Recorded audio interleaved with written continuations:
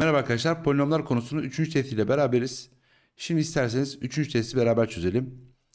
Şimdi 3. testte ilk soruda demiş ki px polinomunun x eksi 1 ile bölümüne elde edilen bölüm nedir demiş. O zaman biz normal, biz buna ne diyoruz? Bakkal bölmesi diyoruz. Yani polinomlarda bölme gerçekleştireceğiz. x kare eksi 4x artı 1'i x eksi 1'e böleceğiz. Şimdi bölme işlemi yaparken en büyük dereceli terimi en büyük dereceli terime bölüyoruz. Bu arkadaşın içinde bu x kere var. O zaman diyoruz ki x kare eksi x. Burada bir çıkarma gerçekleştiriyoruz. O zaman bu arkadaşlar birbirini götürdü. Buradan ne geldi? Eksi 3x artı 1 geldi. Yine tekrardan en büyük dereceliği en büyük dereceliğe bölüyoruz. İçinde kaç kere var? Eksi 3 kere var. Eksi 3x artı 3. Buradan çıkarmasını yaptığımızda bunlar yine birbirini götürdü. Eksi 2 kaldı. Fakat soruda bize neyi soruyor? Bölüm nedir diyor. O zaman bizim bölümümüz ne olmalıdır? A şıkkı yani x eksi 3 olmalıdır diyeceğiz. Şimdi geldik ikinci sorumuza. İkinci sorumuzda polinomunun x eksi 2 ile bölümden kalan 13'müş. Şimdi bakın normalde polinomlarda bölme yaptığınızda bir px polinomunu bir qx polinomuna böldüğünüzde bir tane bölüm x bir tane de kalan x elde edersiniz. Şimdi doğal sayılarda bölme yaparken ne yapıyorduk? İlkokul öğretmeni bize bunu yapıyordu. Sağlamasını yapıyordu. Yani o zaman biz px eşittir qx çarpı bölüm x artı kx diyebiliriz. O zaman biz bu mantıkla ilerlersek biz sağlama yapmak istiyoruz. Şimdi şunu oradan kaldırıyorum. Yani bir tane polinom varmış. 2x kare eksi ax eksi 3a. Biz bu arkadaşı neye bölmüşüz? x eksi 2'ye bölmüşüz. Ve bir tane qx elde etmişiz. Bir de kalanımız neymiş? 13'müş. O zaman şimdi sağlamasını yapmaya kalktığımızda 2x kare eksi ax eksi 3a eşittir. x eksi 2 çarpı qx artı 13'tür diyebiliriz. Bu vatandaş bizden ne istiyor? A'yı istiyor. Şimdi bakın burada siz sol tarafta bir polinom var. Sağ tarafta bir qx polinomu var. Ben qx polinomunu bilmiyorum. Bilmek de istemiyorum. Bunu ortadan kaybetmek için ne yapıyorum? x gördüğüm yere 2 yazıyorum. İşte bu tip sorularda biz ne yaparız? Böleni sıfıra eşitleriz. En büyük dereceli terimini yalnız bırakır. Polinomu da yerine yazarız. Ve böylece sol tarafta x yerine 2 verdiğinizde 8 eksi 2a eksi 3a gelir. Ki burası gitmişti 13 eşittir. O zaman eksi 5a eşittir. Ek 5'ten a değerimiz kaç gelecektir? Eksi 1 gelecektir. O zaman doğru cevabımız nedir arkadaşlar? Bursa'dır diyebiliriz. Şimdi geldik 3. sorumuza. 3. sorumuzda polinom veriliyor. Geçen testte de ben söylemiştim. Buna ben referans polinomu söylüyorum. Bunda bizim işimiz yok şu an. Bize ne istiyor? Px artı 2 polinomun x eksi 2 ile bölümünden kalan istiyor. Şimdi bu tip ifadelerde şöyle yapıyoruz. Böleni sıfıra eşitliyoruz ve en büyük derece terimi yalnız bırakıp gidip polinomda gördüğümüz x gördüğümüz yere yazıyoruz. Yani bu vatandaş benden P4 istiyor diyebiliriz. Şimdi referans polinomundan yola çıkarsak x yerine 4 verdiğimizde o zaman P4 eşittir. 4 verdik 16 eksi 4 kere 5 20 artı 3'ten ne geldi cevabımız? Eksi 1 geldi diyebiliriz. Üçüncü sorumuzun cevabı Bursa'dır. Şimdi geldik dördüncü sorumuza. Polinomu x eksi 2 ile tam olarak bölündüğüne göre. Şimdi biz ne demiştik? Bölme işlemi yaparken böleni sıfıra eşitle en büyük dereceli terimi yalnız bırak. Sonra git polinomda yerine yaz. Neyi bul? Kalanı bul. E, tam olarak bölündüğüne göre o zaman benim kalanım ne olması lazım? Sıfır olması lazım. Yani P2'nin kaç olması beklenir? Sıfır olması beklenir. O zaman biz de P2'yi bulmaya çalışırız. Şimdi P2 x yerine 2 verdim. Eksi 2 çarpı 2'nin karesi 4 artı 2m eksi 3 kaç olacak arkadaşlar? 0. O zaman 2m eksi 8 eksi 11 11 yaptı. m buradan kaç geldi? 11 bölü 2 geldi. O zaman şuradaki m yerine ne yazmalıyız? 11 bölü 2 yazmalıyız. Daha sonra bu vatandaş benden ne istiyor? X artı 2 ile bölümünden kalan yani Türkçesi p eksi 2 istiyorum senden diyor. Çünkü biz bunu ne yaptık? Buradaki yerine yazdık. O zaman p eksi 2'yi bulurken eksi 2 tane eksi 2'nin karesi artı m neydi? 11 bölü 2 idi. 11 bölü 2 çarpı x yerine eksi 2 vermiştik Soner. Eksi 3. Buradan ne geldi? 4 eksi 8. Buradan eksi 11 geldi. Bir de eksi 3'ümüz var. Buradan da sonucumuz eksi 22 geldi diyebiliriz. O zaman doğru cevabımız ne geldi? Edirne geldi arkadaşlar. Şimdi geldik 5. soruya. En bir tam sayı olmak üzere bir polinom vermiş. Polinomun tam sayı sıfırı eksi bir tam sayı sıfırı 1'dir demiş. Şimdi bunun Türkçesi şu tam sayı 0 demek aslında x eşittir 1 köktür demek. Kök nedir? Denklemi sağlayan değer. Yani siz x yerine 1 yazarsanız sıfırlar demek. Sıfırın anlamı o. O zaman buradan çıkaracağım sonuç P1'in sıfır olduğudur. O zaman x yerine 1 yazdığınızda P1 1 artı 3 eksi m eksi 2 kaç gelecek? 0 gelecek.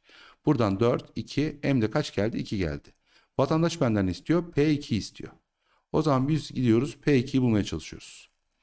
2'nin 5. kuvveti artı 3 tane 2'nin karesi eksi m2 idi. x yerine 2 yazdık. Eksi 2. O zaman 32 artı 12 eksi 4 eksi 2. Eksi 6 6 kaç geldi? 38 geldi diyebiliriz. Beşinci sorumuz cevabı Edirne'dir arkadaşlar. Şimdi altıncı soruda biz şöyle bir taktik izleyelim. Polinomu olmak üzere eşitliği veriliyor. Polinomunun x eksi 3x bölümüyle polinomu ile bölümünden kalan nedir demiş. Biz yine klasik olarak böleni sıfıra eşitliyoruz. Yani 3x eşittir 0 diyoruz. En büyük derece terimini yalnız bakıyoruz. Yani x eşittir 0 sonra x gördüğümüz yere 0 yazıyoruz. Yani bu vatandaş benden p eksi 2 istiyor diyeceğiz. Şimdi bunu cepte tutalım. Şimdi bana ne lazım? P eksi 2 lazım. Öncelikli olarak benim şuradaki soru tiplerinde m'i bulmam lazım ki ben p eksi yalnız bırakabileyim. Şimdi önce x'e 2 verelim. Bunu yok edelim. M'i bulalım. Geçen testimizde de vardı böyle bir soru. 2 verdiğimizde ne oldu? 0 tane p 2 eşittir 8 eksi 2 eksi m geldi. O zaman m buradan kaç geldi? 6 geldi. m yerine 6 yazdık. Sonra biz bir ifadeyi bir daha yazalım. x eksi 2 çarpı px eşittir x küp eksi x eksi 6. Vatandaş benden ne istiyor? P eksi 2'yi. O zaman burada x gördüğümüz yere ne yazacağız? Eksi 2 yazacağız. Burada da, burada da, burada da. O zaman eksi 4 tane P eksi 2 eşittir. Eksi 8 artı 2 eksi 6. Buradan ne olur? Eksi 6 eksi 12 eksi 4 tanesi eksi 12 ise P eksi 2 ifademiz kaç gelir arkadaşlar? 3 gelir diyebiliriz. Yani doğru cevabımız Ceyhan'dır. Altın sorunun cevabı Ceyhan geldi. Şimdi geldik 7. sorumuza. 7. sorumuza demiş ki eşitliği veriliyor. Px artı 1 polinomun x eksi 5 ile bölümünden kalan. O zaman ne yapıyoruz? Gidiyoruz burada x gördüğümüz yere 5 yazıyoruz. Ve bana bu vatandaş neyi soruyor? P6'yı soruyor. O zaman ben P6'yı burada üretmeye çalışacağım. Şimdi burası biraz kalabalık olabilir. Ama içiniz rahat olsun. Siz P6'yı bulmak istediğinizde büyük ihtimal şu QX ortadan kalkacaktır. Biraz göz korkutmalı bir soru ama devamı gelecek. Şimdi referans polinomundan ilerleyelim. O zaman x yerine kaç verelim? 3 verelim. O zaman kaç geldi? P6 geldi. O zaman 3 verdiğimizde 3'ün karesi 9 eksi 3 kere 2 6 eksi 3 tane Q3 x'e çünkü 3 vermiştik. Artı 3 verdik. 2 tane 9 artı 3 artı 1. Gördüğünüz gibi burası kaç geldi arkadaşlar? 0 geldi. Yani burası komple gitti. O zaman burası kaç gelmiş oldu? 18, 19, 22 gelmiş oldu. P6'nın karşılığı ki benden de istediği oydu. Yani doğru cevabımız ne gelir arkadaşlar? 7. sorunun cevabı Edirne gelir. Şimdi 8. sorumuzda polinomu x ile tam bölündüğüne göre. Şimdi x ile tam bölünüyor demek. O zaman biz ne yapıyoruz? Buna bölüyoruz. En büyük derece terimini yalnız bıraktık. x 0 geldi. Ve kalan sıfırmış. O zaman bizim çıkaracağımız sonuç P0 eşittir sıfırdır. Yani x'e 0 verdiğinizde bu gitti bu gitti. Buranın 0 olması beklenir. O zaman buradan B arkadaşı kaçtır? Eksi 1 bulabiliriz. Yani doğru cevabımız kaç oldu? Adan oldu diyebiliriz arkadaşlar. Şimdi geldik 9. sorumuza.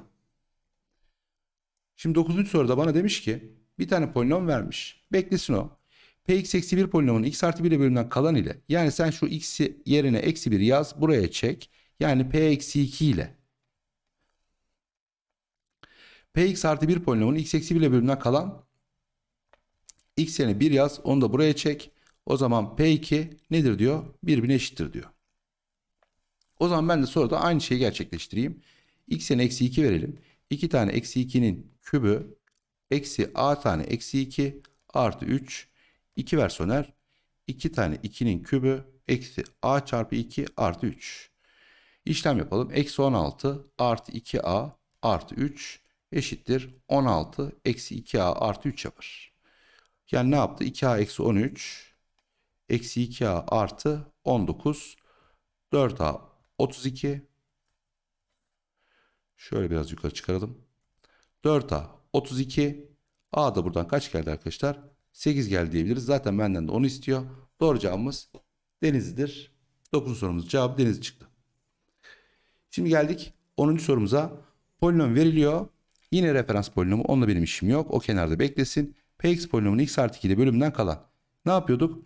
Böleni sıfır eşitleyip en büyük derece terimi yalnız bırakıyorduk. Sonra gittik onu buraya çekiyorduk. Yani vatandaş benden ne istiyor? P eksi 2 istiyor. Şimdi bu referans polinomunda P eksi 2'yi oluşturmak için x yerine kaç verelim? Eksi 1 verelim. O zaman eksi 1 verdiğinizde P eksi 2 eşittir. 2 artı 1 artı 3 yaptı. Bunun da karşılığı kaç oldu arkadaşlar? 6 oldu. Yani doğru cevabımız Edirne'dir diyebiliriz. Şimdi 11. sorumuzda bakın çarpanlarından biri tam bölünürse gibi ifadeler hepsi aynı kapıya çıkar. Demek ki çarpanlarından biri mesela en basit 28'in çarpanlarından biri kaçtır? 7'dir. Yani sen bunu 7'ye böldüğünde tam bölünür diyebilirsen gidersin. O zaman aynı mantıkla çarpanlarından biri x artı 1 ise sen x artı 1'e tam bölersin. x artı 1'e tam bölünürsün. O zaman x yerine eksi 1 veriyoruz. O zaman p eksi 1'in kaç olmasını istiyoruz? Tam bölündüğü için 0 olmasını istiyoruz. O zaman p eksi 1 eşittir. 2 tane eksi 1. Şurada yerine yazıyorum. Eksi, eksi 1'in karesi artı m tane eksi 1 artı 2 0 eşit oldu. Buradan ne geldi? Eksi 2, eksi 1, eksi m artı 2. Sıfırmış. Bu arkadaşlar birbirini götürdü. M de kaç geldi? Eksi 1 geldi. Yani 11'in sorunun cevabı Edirne pardon 11'in sorunun cevabı Bursa diyebiliriz. Şimdi geldik 12. soruya. Geçen testte de buna benzer bir şey vardı. Ama şimdi bu sefer bunu bölmeli sormuş. Tekrar söylüyorum. Burası çok kalabalık bir şey gözükebilir ama gözünüz korkmasın. Sadece istenilenleri yaparsanız soru çıkacaktır. Şimdi buradan ne yapıyorduk? Böleni sıfır eşitliyorduk. En büyük derece terimi yalnız bırakıp polinomda yerine yazıyorduk. Yani P2 kaç geldi? 1 geldi. Peki bu vatandaş senden ne istiyor? X yerine eksi 3 yazmanı. Gidiyorsun onu buraya yazıyorsun. O zaman eksi 3 verdiğinde ne oldu? Q eksi 1 kaçtır diyor. Bak şimdi bir Allah'ın hikmeti. Sen P2'yi X yerine 2 yazdığında ki bu cümlede her yere 2 yazmak gerekecek. Burası ne geldi? Eksi 1 ki o da senden istediği oluyor. O zaman biz X yerine 2 verelim. 2 verdiğimiz zaman ne oldu? 2 tane P2 eksi 2 tane Q eksi 1 2 verdik. 2, 4, 5 geldi. Eşittir 2 verdik 8 oldu. O zaman şu arkadaş kaçtı? 1'di. 2 eksi 2 tane soru işareti eşittir. İçler dışlar yaparsak kaç gelir? 40 gelir. O zaman burasının ne olması beklenir? Eksi 38 mi olsun? 2 eksi eksi. Evet. O zaman soru işareti yani Q eksi 1 denilen ifade kaç gelecek arkadaşlar? Biraz aşağı kaydırayım. Q eksi 1 denilen ifade kaç gelecek? Eksi 19 gelecek diyebiliriz. Yani doğru cevabımız Ceyhan'dır. 12. sorunun cevabı Ceyhan geldi. Şimdi geldik 13. soruya. 13. soruda demiş ki px bir polinom olmak üzere px polinomun x eksi a eksi b ile bölümünden kalan. Yani ne yapıyorduk? En büyük derece terimi yalnız bırakıyorduk. Yani x yerine a artı b yazıyorduk. Nerede? Burada. O zaman bu vatandaş bize ne soruyor? P'nin içinde a artı b'yi soruyor. Şimdi bu bilgiyi edindikten sonra şimdi şuraya bakalım. Px bir polinom olmak üzere. Bak ne yapmış? Px polinom. Yani polinom olma şartını yerine getirmiş. Bir de ben utanmamışım. Px'i ne yapmışım? x küple çarpmışım. O zaman ben her terimi x küple çarpmam gerekir. Değil mi? O zaman biz ne yapalım? Her terimi geri getirelim. x küpe bölelim. Hepsini tek tek x küpe bölelim. O zaman ne geldi? px eşittir. Şimdi ben x küpe bölmüş halini yazmam lazım buraya. X üzeri 4 bölü x küpten x geldi. Eksi 3 artı a eksi b bölü x artı a artı 3 bölü x küp. Ve bu benim için ne olmalı? Polinom olmalı. Siz buna polinom diyebilmeniz için bu terimin ve bu terimin olmaması lazım. Çünkü polinom olma şartı neydi? X'in kuvvetlerinin doğal sayı olma şartı vardı. O zaman buradan A kaç geldi? B geldi. Buradan da A ne geldi? Eksi 3 geldi. Bunların sıfır olması için. O zaman bizim Px polinomumuz x eksi 3 A eksi 3. B de kaç? A'ya eşit. O da eksi 3. Yani bizden ne istiyormuş? B eksi 6 istiyormuş. Buraya da eksi 6 yazarsanız cevabınız kaç gelecektir? Eksi 9 yani 13. sorunun cevabı Edirne gelecektir diyebiliriz. Şimdi geldik 14. sorumuza. Polinomunda p3 eşittir 0. Bak sana diyor ki px polinomu x eksi 3 ile tam bölünür diyor. Benim anladığım şey bu. Yani sana böyle bir şey verdiği zaman sen bu tarafa varmalısın ya da p3 eşittir 0 dediğinde de aynı şekilde bu tarafa varabilirsin. Olduğuna göre A için şekiller hangileri doğrudur demiş. O zaman biz x yerine 3 verelim. Nerede? Şu polinomda x yerine 3 verelim. Bakalım ne çıkacak karşımıza. 3 eksi 3 0. 0 üzeri 1 eksi a. Eksi 3 verdik. Eksi 1 geldi. Eksi 1 üzeri eksi a. Eksi 1. Bunun ne olması bekleniyor? 0 olması bekleniyor. Şimdi zaten a, a şekli hangisi doğrudur demiş. Bir kere şunu söyleyeyim. Üst taraf 0 olamaz. Yani a ne olamaz arkadaşlar? Bir kere 1 olamaz. Onu net söyleyebiliriz. Şimdi eksi 1 üzeri eksi a demek. Bunu pozitif de yapabilirsiniz. Şimdi bunu ortadan kaybedelim. a 1 olmuyormuş. Değil mi? O zaman buradan bu arkadaşı eksi 1'i sağ tarafa atalım. Artı 1 olsun. Şurası ne geldi? Eksi parantezinde eksi 1 üzeri eksi a geldi. O zaman eksiyi sağa attığımızda eksi 1 üzeri eksi a'nın ne olması beklenir? Eksi 1. O zaman bu arkadaş ne olsun arkadaşlar? Tek olsun diyebilir miyiz? Tek olsun. Peki tek olsun dersek bunları eledik. Şunu, şunu, şunu eledik. Pozitif tek sayı olabilir mi? Pozitif tek sayı olursa o zaman ne olacak bu? Ee, tak, hmm, şöyle söyleyeyim. A'nın 1 olma ihtimali beni engelleyecek. O zaman biz ne diyeceğiz? Negatif tek sayı olsun ki negatif tek sayı yazdığınız her şey burada. Bunu ne yapsın? Eksi 1'e eşitlesin. Orada bir engelimiz, çengelimiz vardı. A'nın 1 olmaması. Bundan dolayı ne olamıyor? Pozitif tek sayı olamıyor. Doğru cevabımızda ne geliyor? Denizli geliyor diyebiliriz. Ve böylece 3. testin de çözümlerini beraber yaptık. Bir sonraki testte görüşmek üzere. Hoşçakalın.